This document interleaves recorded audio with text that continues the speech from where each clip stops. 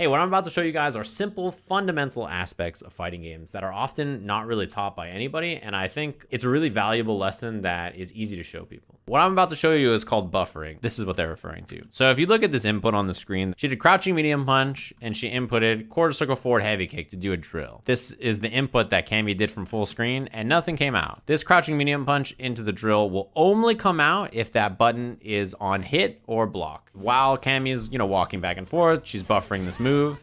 When Chun-Li sticks out an attack and it collides with Cammy, crouching medium hits, the buffer comes out. I am inputting it every single time. This one thing is incredibly safe and incredibly easy to do and makes your neutral much better. So you can see I can just do it all day and if Chun-Li doesn't come into my range, it's a super safe option. Now that's not to say that there aren't risks associated with it, right? There are ways my opponent can beat this. My opponent can walk up, and they can jump. But the buffer recovers so quickly that I can still anti it. The buffer is so safe that I whiffed it. Notice like how early it happens too. Look at this, she's in the air. I haven't done crouching medium punch yet. I input my crouching medium punch. She's in the air. I still have time to uppercut.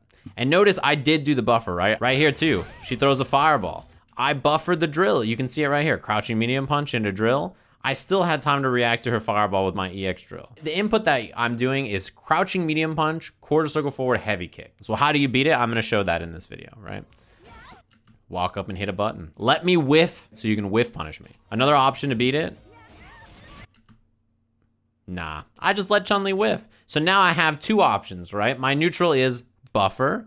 And if my opponent is beating my buffers, then I switch to whiff punishing it, right? Another way for her to beat it, right?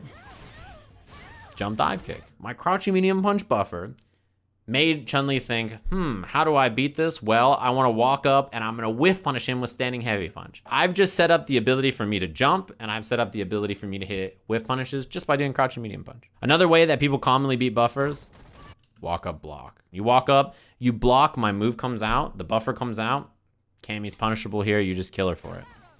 But what if I just do dash up throw? My opponent wants to walk up block to beat my buffer. Now I have set up dash up throw, right? Now I've set up jump dive kick. So that's a really great option. Same thing here. I can buffer into whatever I want, right? I don't have to even use crouching medium punch drill as the only buffer. You can buffer into V-trigger. You can buffer into super skybound art. You can buffer into Roman cancel. Any character, any game, you can use this, right? As long as it has special moves that you can input. What does buffering with a charge character look like? Just like this. You have to do it a little slower because their buffers are uh, charge motions, but you just hold back, you hit standing medium punch into whatever your charge motion is.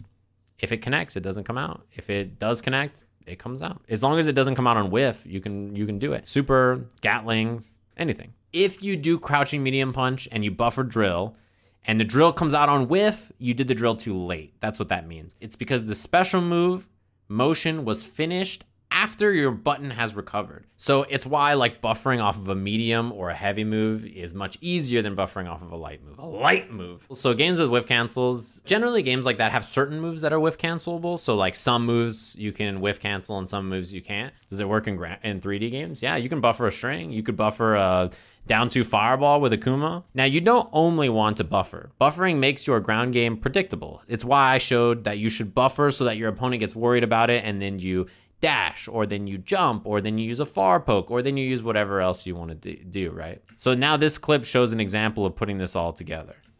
Standing medium kick, one poke, one buffer. Two options. This will get you so far. Standing medium kick to poke, crouching medium punch.